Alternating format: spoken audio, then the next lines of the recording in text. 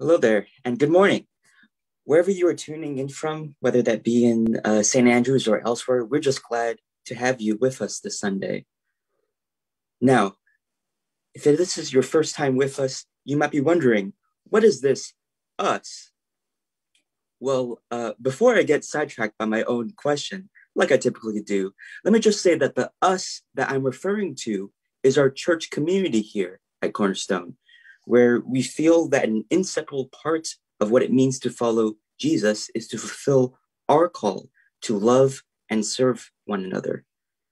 This shared call to each other is not simply naive wishful thinking, but it is grounded in our shared humanity and in our belief that God has created each and every one of us out of his own love for us. So, whether um, whether you have maybe more than a few gray hairs, or maybe you were just born this past week. Uh, we hope that our gathering together, albeit online, will communicate this call to love. So before we dive into uh, the worship this morning, I'll be reading this communal call to worship. And if uh, you'd like, uh, feel free on your own to read out loud uh, the bold part with me. How very good and pleasant it is when kindred live together in unity. Come, let us all worship and bow down together. Let us kneel together before the Lord our Maker. For he is our God, and we are the people of his pasture and the sheep of his hand. Oh.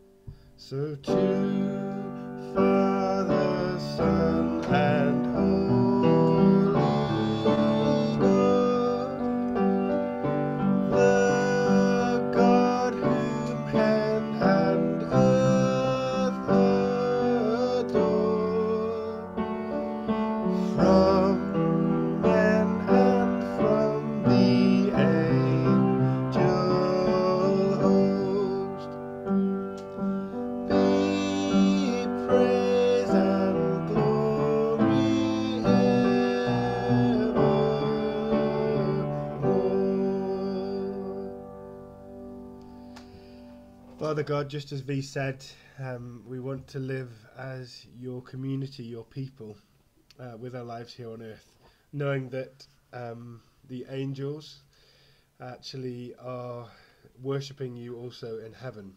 I think of the Lord's Prayer, which talks about your will be done on heaven as it is on earth, or on earth as it is in heaven. But the fact that with Jesus you came and you have brought something of eternity to us here on earth. Lord, this morning, as we think about how you made us to live, what you purposed life for, I pray that you'd give us wisdom to trust you, wisdom to not jump to assumptions of our cultural perspective, but rather wisdom to try and see a broader picture. We know that we're never going to see things with the view that you have or with the heart or understanding that you have. But yet, by your Spirit, you do say that it is possible for us to know the mind of Christ. And so, Lord, for all of us seeking you this morning, we pray that you would help us to trust you, to follow you, to understand your purposes. And we pray in Jesus' name. What do we say at the end? Ah. Amen. Amen. Thanks, Louis.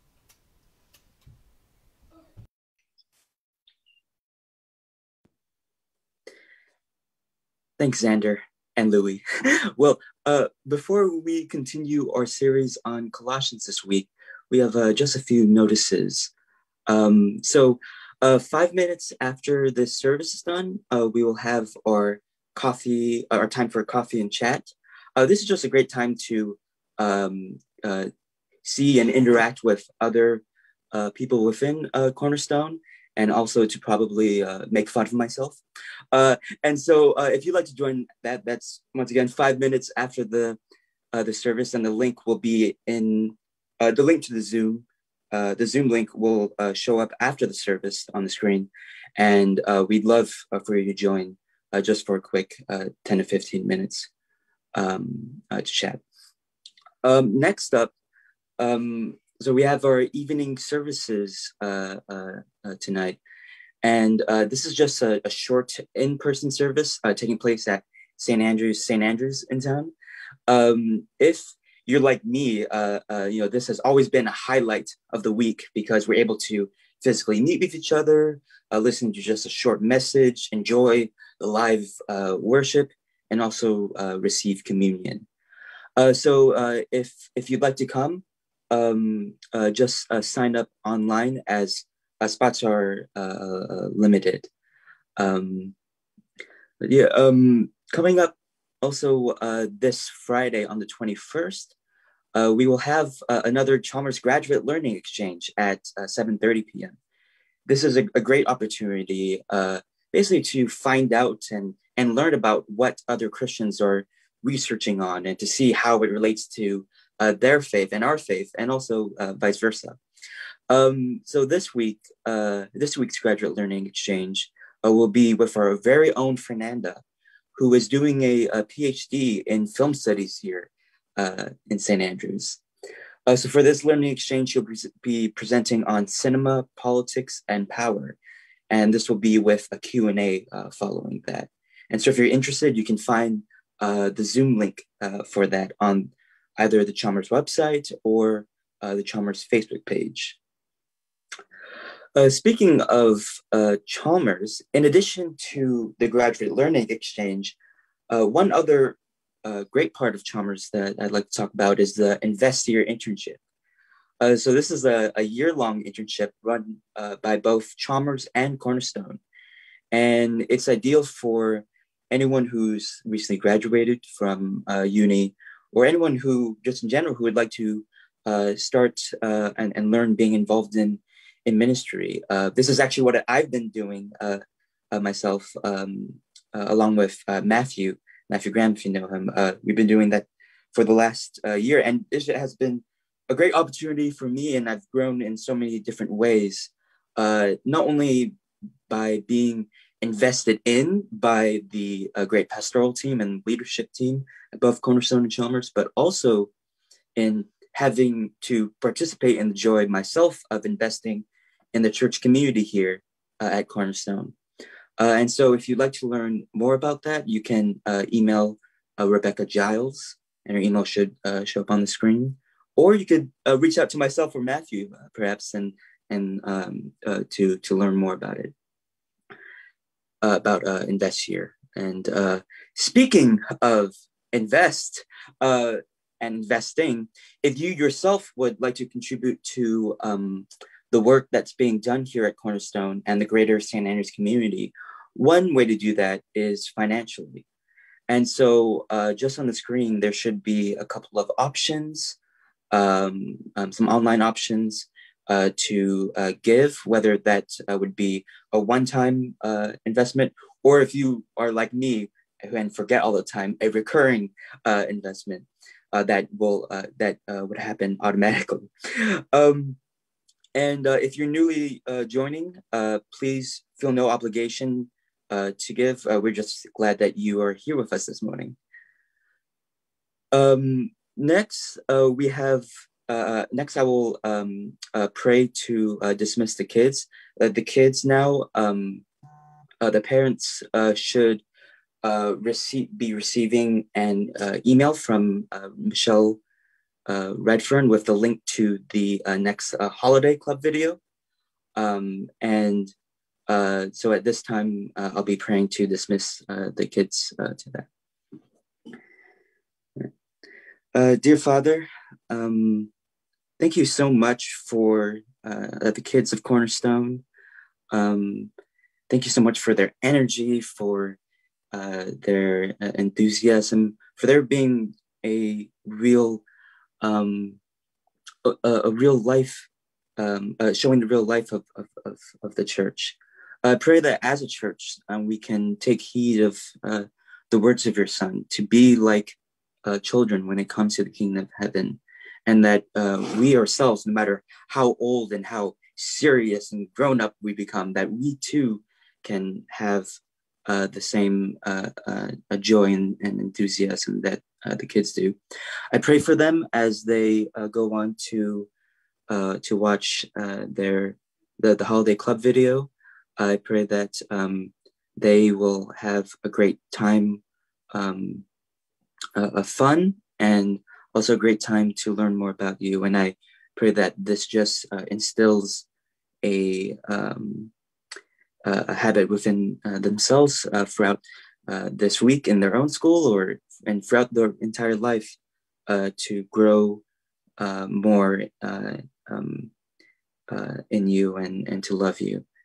And yeah, in Jesus' name I pray. Uh, amen. No, um, the very last thing, but before we go right into uh, uh, the service, uh, I just want to share one of the greatest pieces of advice I remember receiving from, from someone in Cornerstone. And this was actually just right before lockdown. And the advice was, you know, to paraphrase, basically like this to view my time in St. Andrews not as just a mere stepping stone, but actually a valuable time in of itself to not just grow, but to build lifelong relationships and to invest in things uh, that will have uh, life lifelong uh, um, effects far beyond uh, moving on from uh, St. Andrews. The person that uh, gave me this advice was Sarah Joss.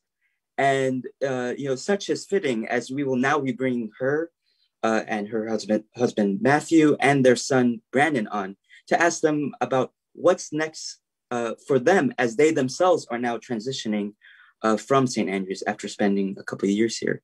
So at this time, um, Jared and the Josses turn, uh, turn oh, there you go.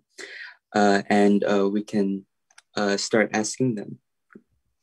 We can start asking them. Yes, we can start interrogating yes. them. yeah. Um, Matthew, Sarah, Brandon, I do just, I think that was a lovely story, V, and you have definitely epitomized that yourselves of really embedding yourself not only in Cornerstone, but in the wider community in St. Andrews. And you've been a wonderful part of our community and you've made an impact on the community as a whole. So we're going to really miss you and we're really thankful um, for the impact that you've, you've, you've had. So, just very briefly, um, whoever wants to answer, would you tell us a little bit about V and I are just going to pray for you now, but what could we be praying for? Um, what are you excited about about as you guys return to the states and what God's calling you to, and maybe what if there's anything that you're you're nervous about, or just let us know how how can we be praying and what would you like the community to know as you head on. Oh, uh, well, and I apologize if our camera freezes. Our internet has, of course, decided to die at the last possible moment. Um, well, we have the the journey back, so you can pray for that. That we uh, won't come back with a positive COVID test and get stuck in a hotel for the next two weeks. That'd be somewhat awkward. Um, and then we have, I guess, for me, because I haven't quite finished my PhD yet, and so I'll need to do last minute revisions after I arrive and submit soon afterwards. Uh, and then there'll be kind of job sort of things as well um, as we, you know, try and move forward with that. And then for all of us, as we uh, we kind of adjust back to to being in the states again. Yep. it anymore. Brandon, what is what is one thing that you're excited about as you move back to the states?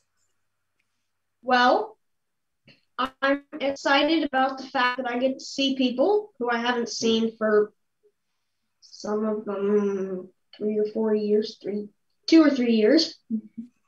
Uh, um, I'm excited because my birthday is coming up. Ah, important things. Nice. Well, great. Okay. Well, V, why don't you get us started, and then I'll I'll pray as well. But um, yeah, thank you so much, Josses, for what for being a part of our community, and I'm really excited for what God is going to be doing in and through you as you return to the states. So, V. Sure. Uh, dear Father, uh, thank you so much, um, just um, for the Josses, uh, from Matthew, Sarah, and Brandon, uh, just for their entire time that uh, you have gifted them and uh, gifted actually to us here at Cornerstone um, uh, in, in, the past few years of, of being here. Um, I pray for uh, them as they uh, travel, make the arduous uh, um, journey uh, back to the states with not only all their you know personal physical belongings, but all their memories that they have received from uh, their time here in St. Andrews. Uh, I pray that I pray for um, the the necessary um, list of, of items that still need to be done related to St. Andrews, even after they come back to the States with Matthew's PhD. Um, uh, but also uh, that um, uh, um, for the next stage and uh, Matthew looking for a job and uh, getting settled and uh, starting this uh, next stage of life. I thank you for um, each and uh, every one of them and, and for everything that they've uh, contributed um, and everything that I've learned from them in the past few years. in Jesus' name I pray. Amen. Father, we thank you for the Josses. I thank you for Brandon and the um, just the mind that you've given him for his creativity and intelligence. And I pray your blessing upon him in this next phase, that he would enjoy seeing people that he hasn't seen for a long time, um, and that he would flourish um, as he returns to the States, and that this next phase of life would be one full of joy and growth and learning. Thank you for Sarah and for her gifts, um, for getting alongside other people. We thank you for the, the, the the group that she's led of, of many women in our community and for the way that she's served them over these last few years. We pray that she would be being supported by other like-minded people as she returns to the states, but that she'd continue to be able to find avenues to use those gifts that you've given her of support and of discipleship and care. We thank you for for Matthew. I thank you for the way he sees his work as a way to serve your kingdom, to answer people's questions, and to um, display the rationality of faith, the way that faith in Jesus makes sense. So I pray that he would bring this work to a conclusion in a way that satisfies him. I have no doubt that the quality will be excellent, but uh, I pray that he would be satisfied with time and that you would be giving him opportunity to use those gifts going forward to serve um, people that are questioning you or that are far from you or people that are that have questions about their faith. We thank you for the Josses we ask that your blessing would go with them. In Jesus' name, Amen. Over to you, V. Thanks, Jared. Thanks to Josses. We'll always miss um, um, the the latest uh, invention that Brandon uh, shows me and excitement. uh, so uh, now um, we will uh, turn to uh, Jill, who will pray for us, and that will be followed by a fun little uh, introductory video uh, right before the reading of scripture and the sermon.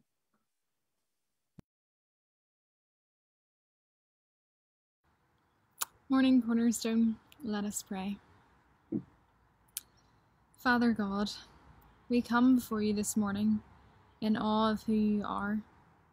We thank you that we are finally beginning to be able to meet more and more in person as restrictions lift and places start to open up again. Father, we pray that you'll be that you will go with each of us as this takes place. Where for some this may bring excitement and for others this may bring apprehension and fear. You created each one of us. You know our deepest fears. You know our weaknesses but you made us in these places with insurmountable love, and we thank you that you promise to never leave us nor forsake us. Father, will you fill us with your peace this morning? We also pray for our mission partner, Kingdom 2000, who seek to bring the gospel to young people around schools and churches in Northeast Fife. We pray, Lord, that you will bless these young people as events return in person that you will provide opportunities and open doors for the volunteers to serve in new and old places. Thank you, Lord, for the time of prayer and fasting we as a church were able to have on Wednesday. We lift each of these prayers up to you and ask, Lord, that you will continue to prepare our hearts and minds for what is to come as our church goes through a time of change. We trust you as our main leader. We trust you with the future, and we fix our eyes on you, our guide who sees everything from the beginning to the end. Continue, Lord, to challenge each of us through the teaching of your word and through relationships with others around us. May we be willing to be formed into the image of Christ, even when it may be uncomfortable. We are your children, who you love equally with in immeasurable love. Help us, Lord, this morning to learn how to love others with the same kind of deep and unconditional love which you have for each one of us. Father, you want us to be obedient to you. This you do ask of us. And we pray, Lord, that we as a people and as a church will hear your voice and be obedient to what you have for us next. We yield ourselves to you as we live in this side of heaven. We thank you for everything that you've done and continue to do in this church. As members of this family in Cornerstone leave and new members join, we thank you that you provide us with a body of believers to grow and live alongside, with sharing the highs and lows of everyday life. Thank you for the relationships that you have cultivated in this community. Father, for all these blessings we have received, we turn back to you in praise, giving you the glory because you are so, so good. In Jesus' name, amen.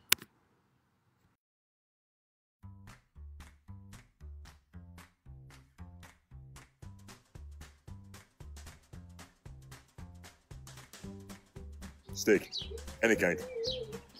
Um, broccoli. Yes. Okay.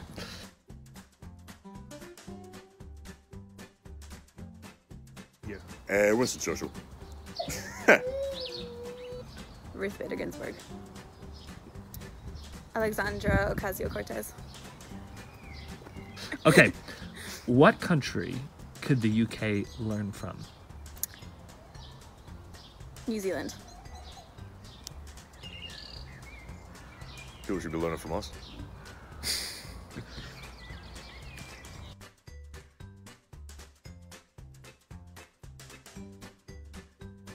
the patriarchy.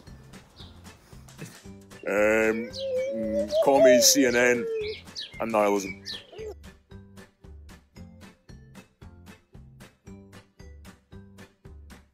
Well, to abandon ideology, essentially. Yeah, to abandon ideology. That everybody is of value and worth despite how they choose to vote and how they choose to look at the world, and that it's possible to love people who don't love others the way you think they should.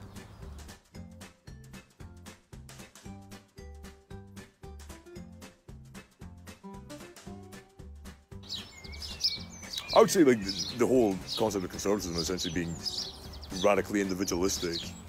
Like uh, I mean, Christ corporately saves his bride, the church. Well, well, it places your identity less in works.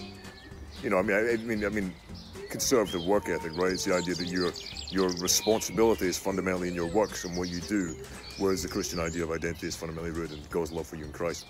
So I think that that is radically reoriented. Yeah, I mean, I think today there's a big emphasis on like cancel culture, for example, especially amongst liberals, and that's quite difficult as a Christian to say, yeah, we absolutely should not value what anybody says ever because I disagree with them on this one point. Um, I find that very difficult. And yeah, I think a lot of the time liberal political liberalism can be associated with autonomy and kind of, you know, everyone having their own autonomy, whereas which I believe in, but also I believe that God is sovereign, and so to have that is quite, yeah, they're two quite juxtaposing ideas. The idea that loving your neighbour sometimes means doing things that they will find hard or disagree with.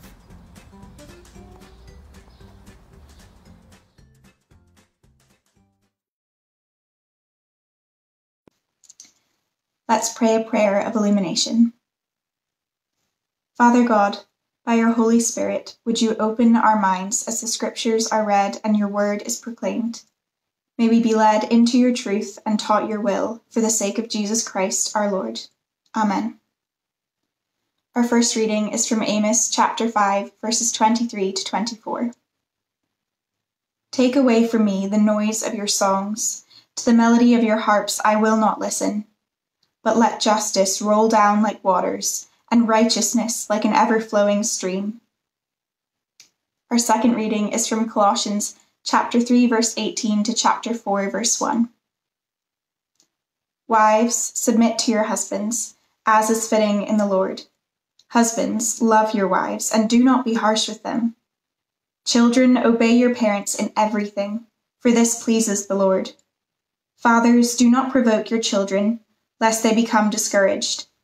Bondservants, obey in everything those who are your earthly masters, not by way of eye service as people pleasers, but with sincerity of heart, fearing the Lord. Whatever you do, work heartily as for the Lord and not for men, knowing that from the Lord you will receive the inheritance as your reward.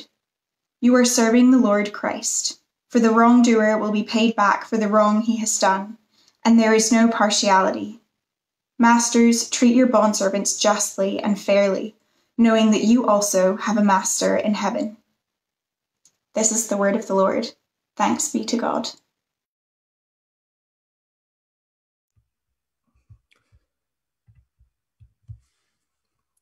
If the Bible is the best book we have on morality, it should get slavery right. Because slavery is one of the easiest and most consequential questions we have ever had to face. And the Bible gets it wrong. So says uh, Sam Harris. I know that as we read that passage, um, people, many of us will have reactions against it. I, I hope that all of us are uh, have enough um, are, are embedded enough in our culture to know that these are some of the most difficult verses in Scripture for uh, many people today. It's one of the things that turns people off to the Christian faith. And this belief that Sam Harris says here, that the Bible gets these moral issues wrong, that it gets slavery wrong, that it gets misogyny wrong, is increasingly widespread it's one of the things that I think is driving um, young people away from faith in Jesus. So, what we're going to do this morning is simply present an argument for why that is completely incorrect.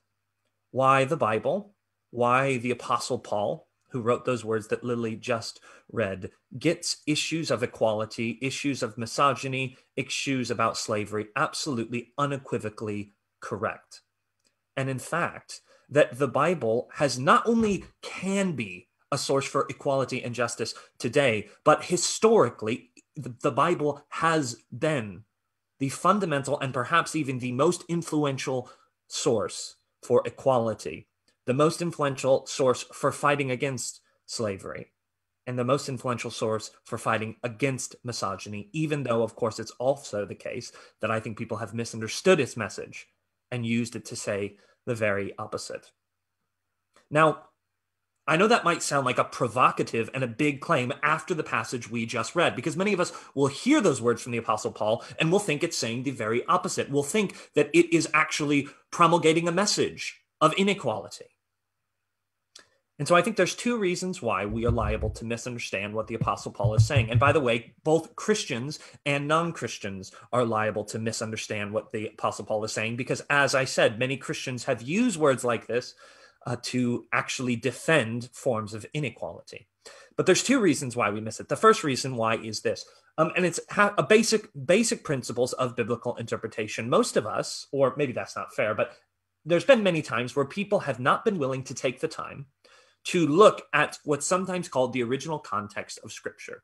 We don't take the time to look at what was Paul saying in his own time, in his own context. And weirdly enough, paradoxically enough, strangely enough, if you don't take the time to understand what Paul was saying into his original context, you will often wrongly think that you can apply what he said directly to your own context. See, if you don't actually take the time to understand what it means in its original context, you will misunderstand that in applying the Bible, there's always two steps. The first steps is what did it mean then in its original context?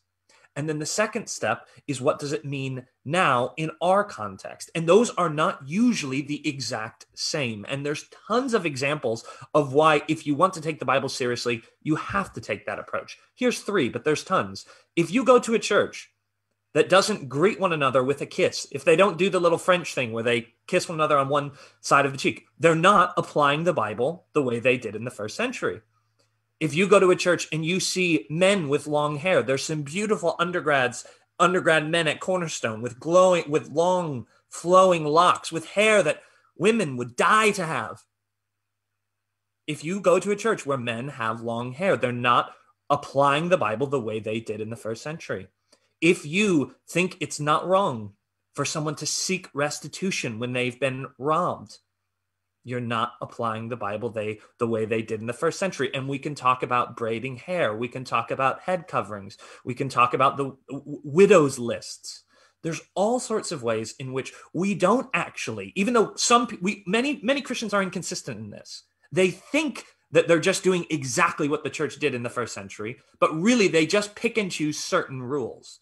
The truth is that if you want to treat the bible as an authority if you want to take it seriously. And some of you Christian are not Christians and you won't want to. But if you do, you have to be willing to be consistent and to do that two-step process. First, take the time to say what did it mean in its original context and then realize there's another question of saying how does that then apply in our very different context. And by the way, that's exactly how Christians interpret all of those texts. We'd say that we don't apply it the exact same way, but the principle, the sort of moral behind each of those commands, we actually do apply. And I won't have time to go through how we do that this morning. But there's a second reason as well.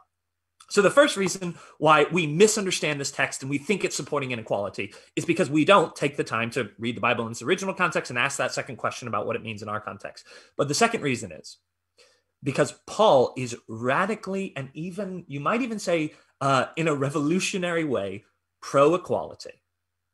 But his vision for equality will offend almost all contemporary political and social ideologies.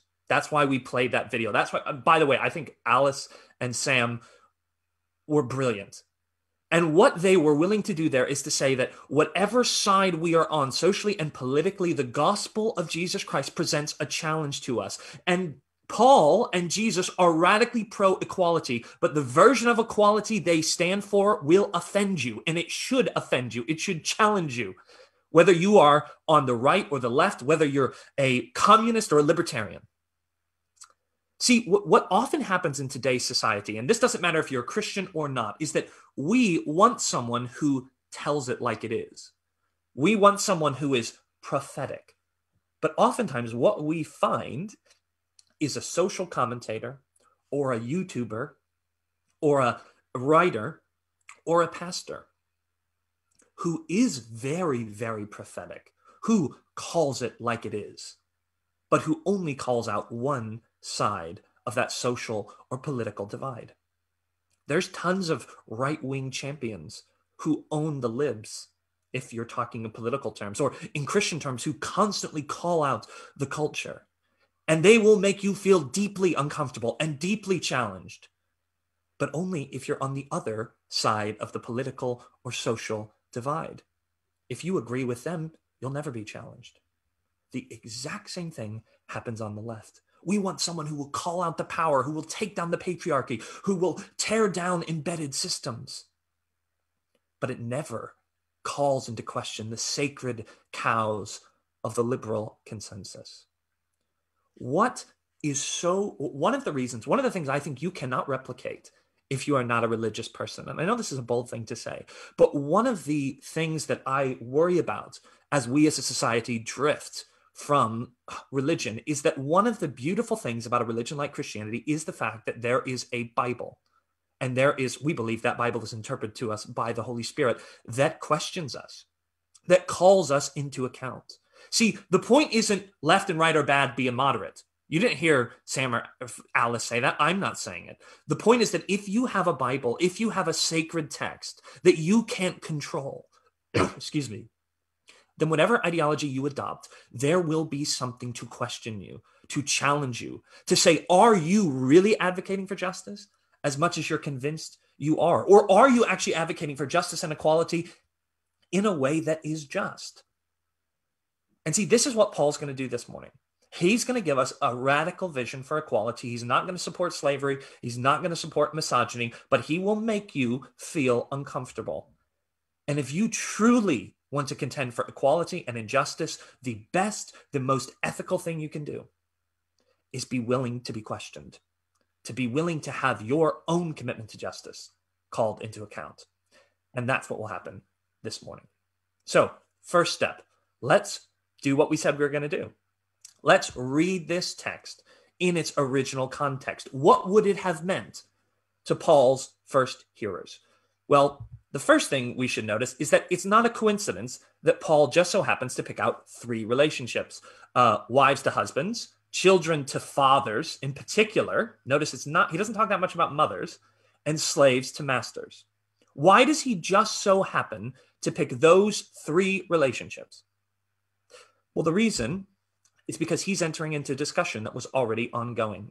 He's entering into an ongoing discussion in the Greek and Roman world, what is sometimes called the Greco Roman world, about how the household should be organized.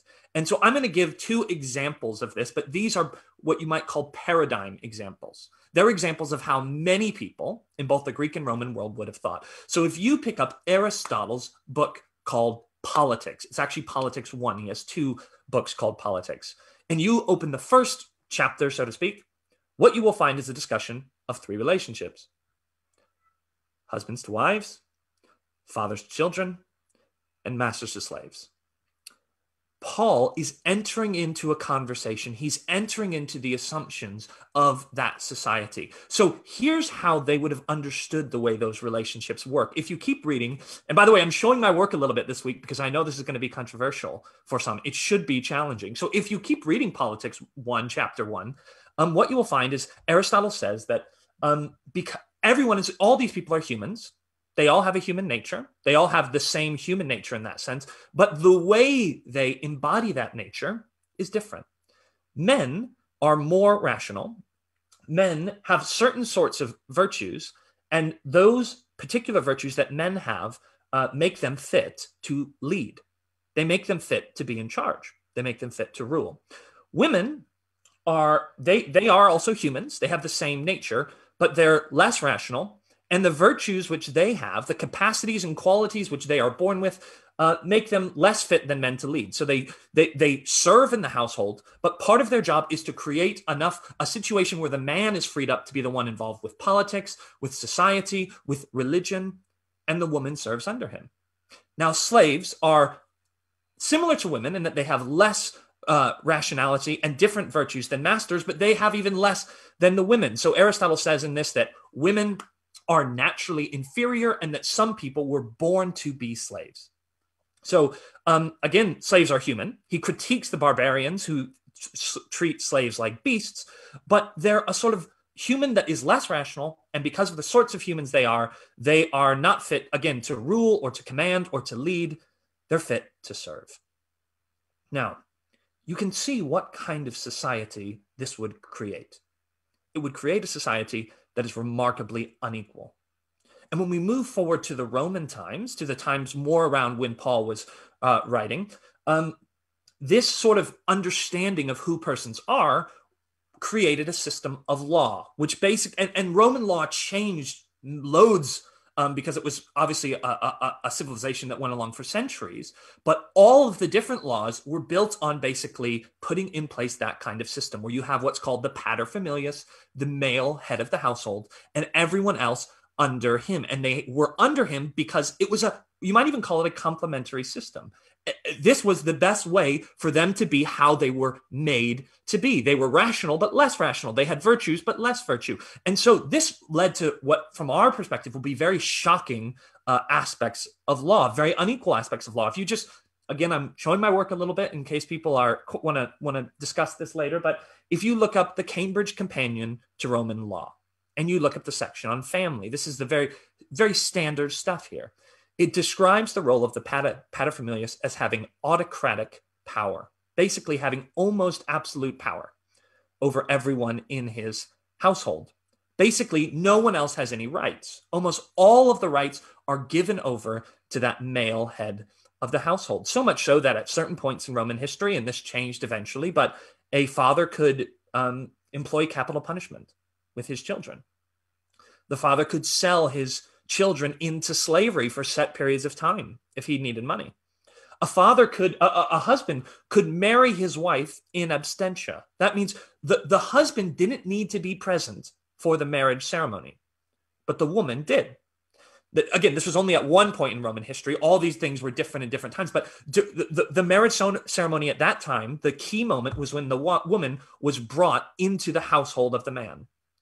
The key moment wasn't vows, the key moment wasn't commitment. The root of marriage wasn't about love. The root of the marriage was about the woman being brought into the household of the man under his authority. Therefore, the woman had to be present for the marriage so she could be brought into the household. The man didn't. I think you're getting the point. In the Greek and Roman world, we are entering into a radically unequal society where the man has autocratic power over uh, women, children, and slaves. And the reason is because he is intrinsically different.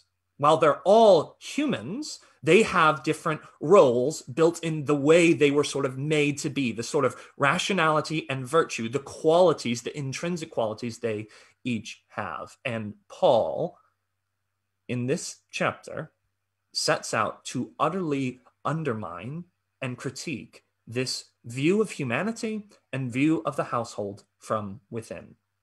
This is a subtly and implicitly revolutionary text. It begins with what is as central an idea for Paul as any. It is part of the root of what he understands the gospel to be. If we want to understand these verses at the end of Colossians, we have to remember what we read last week. There's no Gentile or Jew. There's no circumcised or uncircumcised, barbarian or uh, barbarian or Scythian. Scythians were these people that were basically considered low class in that culture. There's no slave or free. Christ is all in all. And he repeats this idea at three different points, including saying there's neither male nor female. This is as central to the gospel for Paul as anything.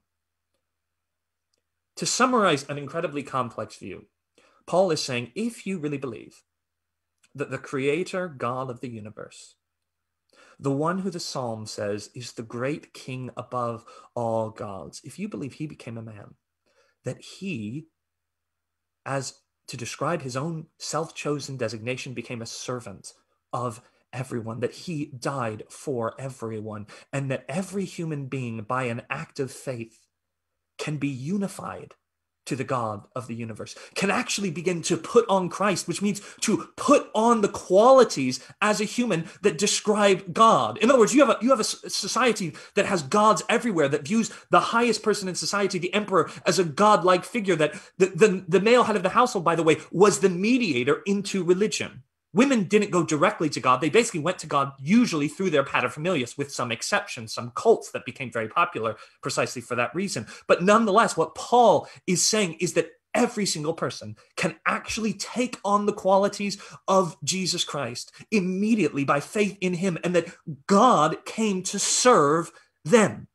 God came to serve the people we think are slaves. God came to relate directly to the people we think are good for nothing but service.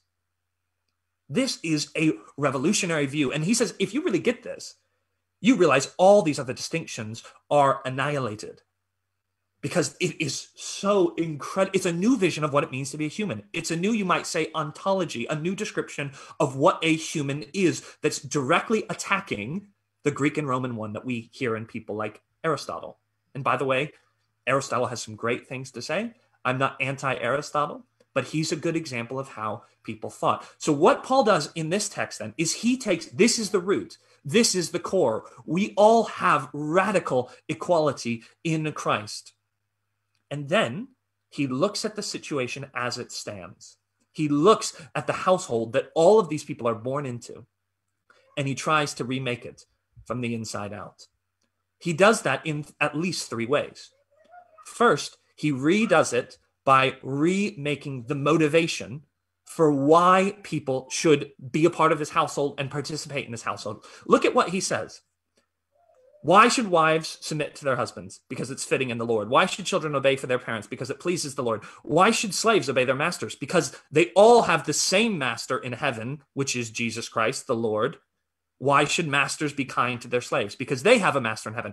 In other words, in every circumstance, why does he say a child should obey their parents or a wife should obey their husbands. This is going to be shocking for some of us. He doesn't say wives should submit to their husbands because wives are different. Women are different. Women were made and they're better at serving, and men are better at leading. That's what Aristotle said. That's what the Greco Roman world thought. Paul says no, it's because of Jesus. If Jesus the God of the universe, who is naturally better than you, served you, then you can serve someone who's not any better than you. Who you, the man the woman, are one in Christ. You're absolutely equal. But if you find yourself in this in this situation, you can serve. Not because that person is better than you, not because of the natural differences or capacities that everyone in this society would have appealed to, but because of who you are in Christ. Because Christ served you. This alone has already completely revolutionized the system from the inside out because it doesn't affirm that the reason you obey is because masters are better than slaves or because, uh, well, I'll get into some other reasons it's not the case either. It does it because of what Christ has done for you. You're actually called to serve others because of your equality with them and ultimately because of what Christ has done for both of you. So that's the first reason the motivation is totally changed. But the second reason, the second thing to note about this is note what bits Paul very carefully picks out certain bits of this household system that was that was applying in the Greek and Roman world to affirm and there's a bunch of bits he says nothing about which basically what I think what, what what he's doing there is he's he knows this is the world that people are brought into. He knows it's there, but he's not affirming it. It's just the situation people are born into. So what he basically does is he affirms the obligations that that can be transformed by this Christian vision of love and equality, and he ignores all of the rights which actually make the system work. So notice he says, "Wives submit your husbands." Where does he say, "Husbands, your wives um, owe you submission. He says, slaves, obey your masters. Where does he say, masters, because you're the master, um, your slaves have to obey you? He doesn't say that. Now, in that world, in that Greco-Roman household that most of these people are born into? Is that what will be go- is going on? Will of course that's how they will all assume it. But we have to look at what is the question Paul is addressing here. And so to help us understand that, I want to give an analogy. Okay, I want to step back for a second. So Jesus was one time asked a question by some Jewish religious leaders.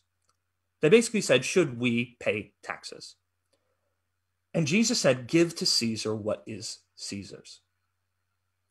So, does that mean that Jesus was saying that empire, Caesar's the emperor, that empire is a good thing? Does that mean that Jesus was was telling us how government should function for all time? And that if you want to obey the words of Jesus which said give to Caesar what is Caesar's then you should be opposed to democracy you should be opposed to human rights you should be in favor of a empire that conquers uh, and destroys enemies for the sake of Rome. No of course not. Jesus wasn't asked the question what is the best government for all time people that were already under the control of that empire were asking, how do we live well in this imperfect, broken system in which we find ourselves? This is exactly the question which Paul is answering here. Paul has already said there's no slave or master, there's no male or female in Christ. So if Paul was asked the question, should there be these household rules? Should there be masters and slaves for all time? I think he would give a very, very different answer than the one he gives here. And by the way, in 1 Corinthians 7, where he lays out something very similar, where he says, Slaves, this is how you can act well towards your masters, he actually says, as, as like an aside, he kind of assumes everybody all already knows this. By the way, slaves, if you can get free, of course you should. Yeah, of course. Of course you should get free if you can. Paul is not endorsing patriarchy.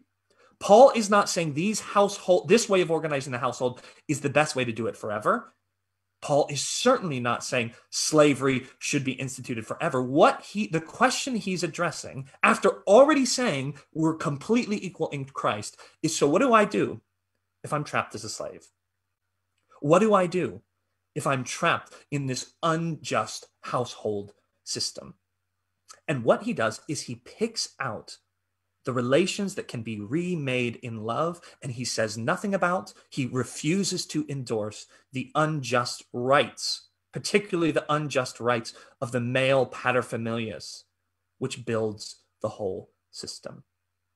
Do you see what he's doing? He's remaking this unjust system from the inside out. One, by utterly changing the motivation saying it's not because of something intrinsic to who this per- this man, this paterfamilias is that you should serve him.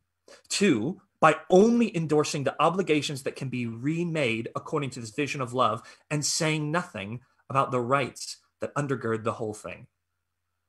But the third reason and the last reason is this. Some of you might be noticing something. I said that every one of these relationships, the reason, the motivation why they are told to act in service and love to the other is because it's related to Jesus. It's fitting in the Lord. It pleases the Lord. You have a master in heaven. What about verse 19? Doesn't seem that Jesus is mentioned or the Lord is mentioned. Well, the reason that New Testament scholars say that is, is basically he is mentioned. It's just implicit. That word there, love your wives, agape your wives. That's what is commanded to husbands. And by this point in Christian history, um, most scholars will say that word had taken on a sort of very definitive, Christ defined definition. When Christians thought of what does it mean to love, they immediately thought of Jesus. So basically, Jesus is mentioned in verse 19 just by mentioning agape. So, what is Paul saying then? When he says husbands love your wives and basically in different ways husbands love your your children and also masters love your slaves. He doesn't say that explicitly but it's, it's implied in what he says. Well christians would have known what love is. They would have looked to the final chapters of john's gospel. They would have remembered the definitive redefinition of love which jesus offered. How did jesus show them what love is he tied a cloth around his waist. He got down on his hands and knees and he washed their feet. Then he served them a meal. And the way he described what he did there is by the word doulos. It's not the word servant, as many people think. It's the word slave. In Philippians chapter 2, when Jesus described his mission to earth, uh, well, when Paul described Jesus' mission to earth, sorry, it says Jesus did not count equality with God. He did not count his natural uh, divineness something to be held on to, but he made himself nothing, taking on the form of a, same word by the way, slave. See, I know some people will think, fine, you've made a sort of, you know, complicated case, but Paul still says to the woman, submit to the man, and the man only has to love the woman. Paul still says to the slave, obey the master, and the master only has to serve, care for, provide for, i.e., love the slave. That still seems unfair. It's only unfair if you don't define love the way that Christians do. Because what does it mean to love another person if you define it the way Jesus does? It means to voluntarily, not because of who, their nature, but because of who, what you choose, because of what Christ has done for you, to voluntarily take the role of a servant or even of a slave for them. And what do slaves do? Submit to the other. So, what is Paul saying here? He's using different words. He's not saying men and women are exactly the same, but he's describing the process of voluntarily submitting to the other in love in two different using two different terms because that's what love means for a Christian. He's saying, women, just like Jesus knew that the, the, the, disciples whose feet he was washing, they didn't have a better nature than him. They weren't intrinsically better than him. In fact, he was God. He was better than them. But nonetheless, he took the role of a slave out of love for them. Husbands, you do exactly the same thing. You love your wife, as Ephesians says, as Christ loved the church. How did Christ love the church? Voluntarily taking the role of a slave for them, voluntarily submitting for them. By the way, Ephesians is almost a exact parallel of Colossians. The, the, the, the, two closest texts, he enters into the same household codes again, and it becomes even clearer there because the whole passage begins with him saying, Submit to one another out of reverence for Christ. He's actually calling for mutual submission. And he uses different words. Again, he's not saying men and women are the, exactly the same, but he's, he starts the whole passage saying basically what I'm going to go on to describe is the way you can each choose to voluntarily submit in love to the other in the roles that society has placed you in. Here's how you can remake those love. You can meet, remake those roles in light of the equality you have in Christ and in light of the love which you have received from him. He does the exact same thing with masters and slaves. People miss the, the most incredible part of this description of the household. Slaves, obey your earthly masters with respect and fear and with sincerity of heart, just as you would obey Christ. And masters, treat your slaves in the same way. Treat your slaves exactly as you would wish to be treated. Serve them, be a slave for them, because that's how Christ treated you. This passage could not be further away from affirming inequality. It is a radical vision of everyone in society sacrificing in love for the other. Now, did the church always get this right? Of course not. Of course not. Um, but sometimes they did, by the way, more than we sometimes might expect. There's a great, um, oh, I'll come back to that. There was a document in the early church called the Apostolic Constitutions. This was, um, it was so important that some people wanted to include it in the Bible. It was one of the defining texts that kind of told churches how to operate and it it understood um, when people read this in the right context they understood how revolutionary it was. This is what it says let the master love his slave. Let him con- let him consider wherein they are equal even as he is a man. I think that probably means human there. Even in the fact that they are both ultimately equal because they're both men or men and women united in christ. And so what's being enjoined here What's being commanded here is a way of remaking society through love, using love and sacrificial service to create an equal society. Now, I wish I could, at this point, I'm going to have to cut out about 20 minutes of my sermon. I know people will have all sorts of questions. I wish I could talk more about how to apply this today. But basically, what I just want to do is lay out this vision. I want you to be challenged. If you think that all we do is read a text like this and apply it the exact same way as they did in the first century, that's not what Paul's speaking to here. Again, Paul's not saying this is how household should look for all time. He's saying if you're born into this system, how do you remake it in light of the radical revolutionary gospel of Jesus Christ? That will be challenging for some of us with a more conservative disposition. There's also something very challenging if you have a more liberal disposition. Because oftentimes today, the idea that the way to remake society is through loving your enemies, loving the persecutor, loving the one who institutes injustice, uh, injustice, that's not a popular idea. Furthermore, the idea that you might even have to serve them, that's extremely unpopular. But the Christian message is this the Christian message is there's no way of loving there's no real way of loving. You can pretend to be loving. You can use the words love all the time. But if you actually want to love someone in the cut and thrust and difficulty of life, you will have to treat them better than they are. That's what Jesus does for us. That's what Paul Paul says in another book in Philippians when he says, "Treat others as more significant than yourself." If you want to love people in the imperfect, unequal, broken world we live in, you will have to voluntarily take the role even of a slave. I think, though, we also see how revolutionary this was. I know some of us, we, we might be tempted from our 21st century horse to just say, well, why did Paul have to go through all this trouble? Why did he have to speak to the people that were in this difficult situation? Why couldn't he have just said, slavery is bad, end of discussion? Misogyny is bad, end of discussion.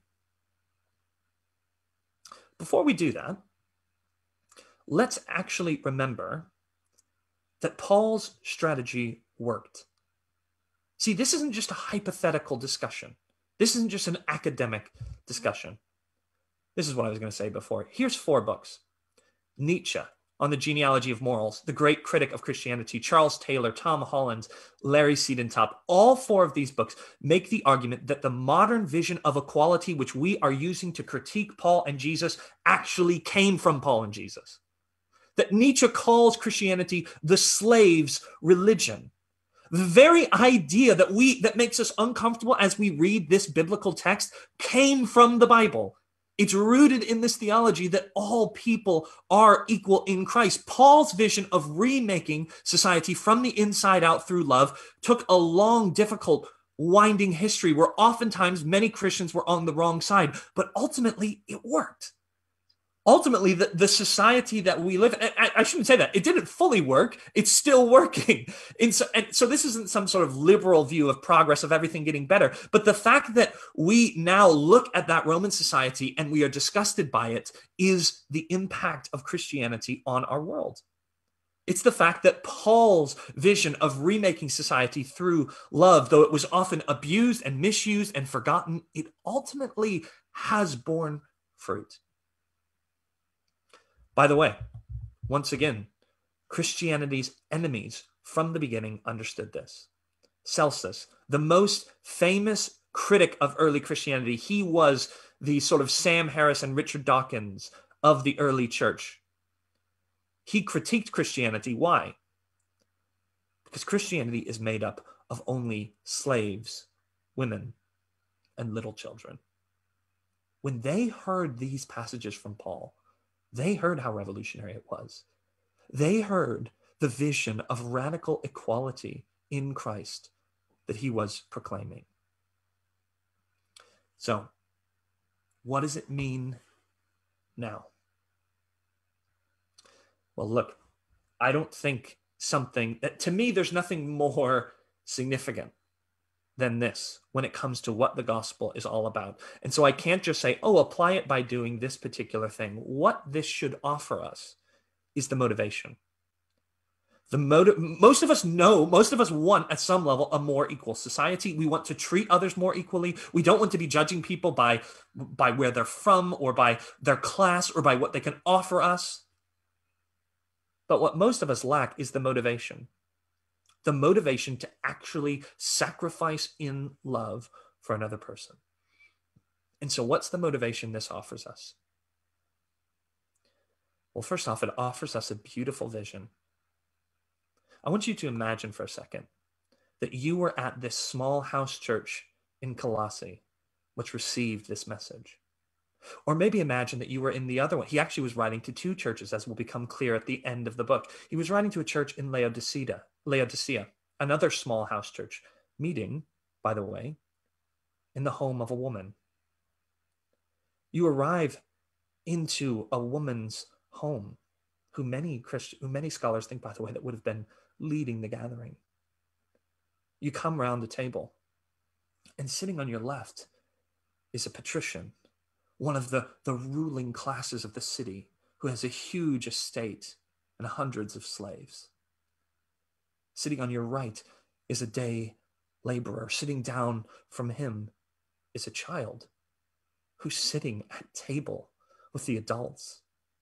Next to him is a slave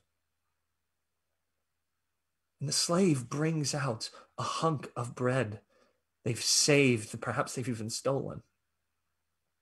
And the ruler brings out some of the finest wine from his vineyard. And he pours it into a glass. And he hands it to the slave who's never been served by anyone in his life. This is the vision which remade and is remaking. And God, we pray, please remake us still, the Western world. We are still a, society of radical inequality, of course. So, how do we begin? How do we start? We have to go back to another room, even before that one we have to realize that if we as a community and we are individuals are going to institute this radical vision of serving people in love people that aren't essentially better than us people that don't deserve it the only way we will ever have the inner strength and resolve to do that is that if the place we begin is with the god of the universe who made all things, the great king above all gods and emperors and authorities, if we begin allowing him to wash our feet.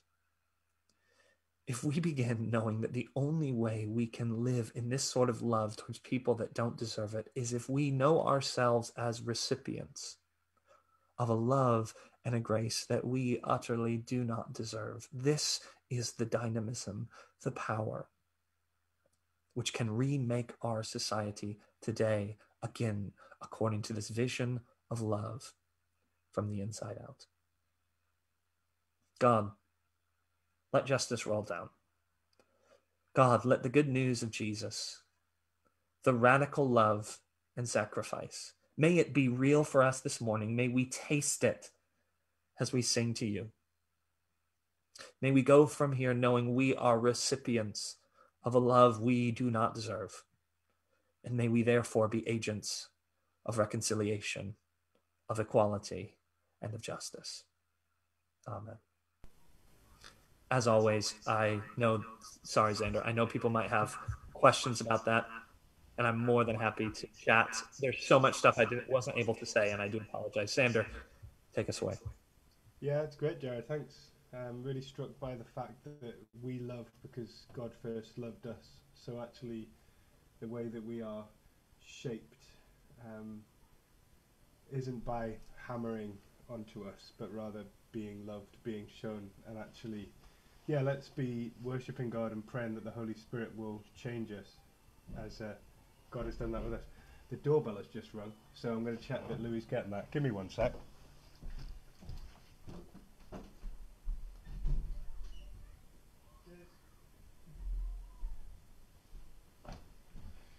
You don't get that every day. Smile and wave, Jared. yeah. but we, we're going to praise God um, and also recognize how He has served us, and we can follow after Him.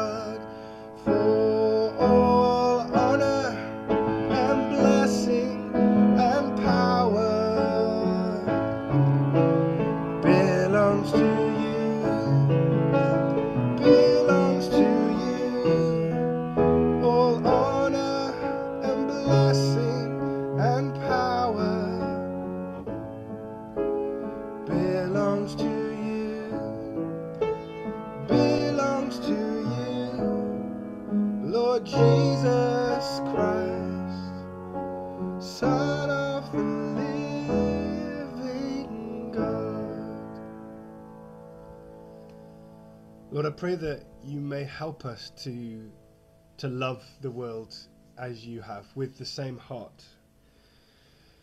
I recognize our pain and our injuries and our circumstances will impact the way that we view others, and our, our pain might make us struggle to love.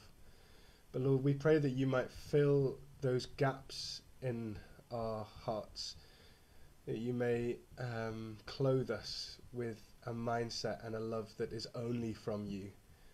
Lord, may we see a world transformed by people who live after your own heart. And I pray that you will open our eyes to blindness uh, for your sake and for the people of this world. We pray in Jesus' name. Amen.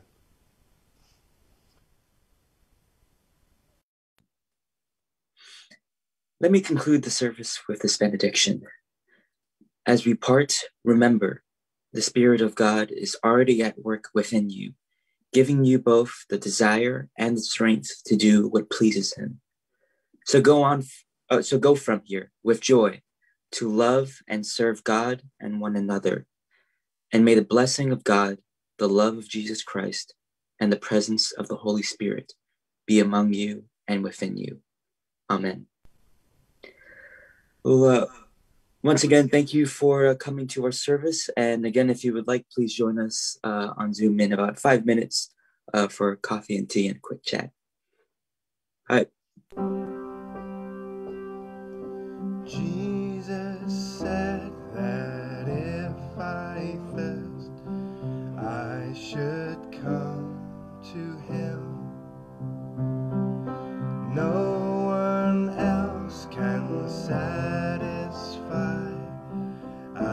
Should come